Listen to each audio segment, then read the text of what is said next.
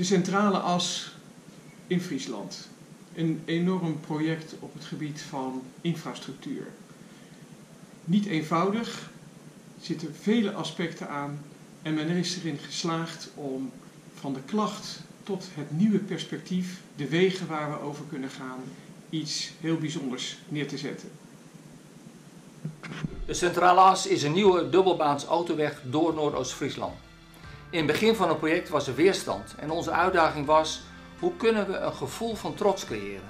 Dat de inwoners zouden ervaren, deze weg is van ons. De communicatie bij de Centrale As kenmerkt zich door de drie B's.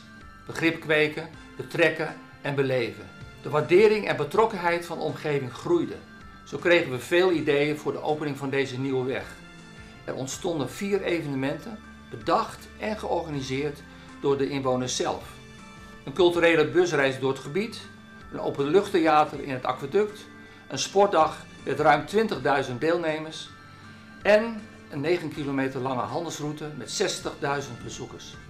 Het werd zoals we het hadden bedoeld, geen bestuursfeestje, maar een feest van en vooral met heel Noordoost-Friesland.